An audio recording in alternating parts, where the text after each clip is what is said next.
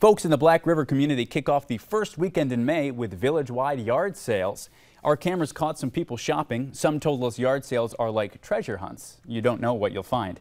Those selling say nearly all of their stuff was gone by Saturday morning. And we also made a stop at the Black River American Legion. Here, the pavilion filled with all sorts of things. Those with the Legion say yard sales are perfect for shopping and bringing the community together some things that their kids have been wanting for or uh, something they had when they were little, so they've been finding out. But we've all gathered together, had lunches, pizza, get caught up, know, get together and know people in the community, so that's a good thing too.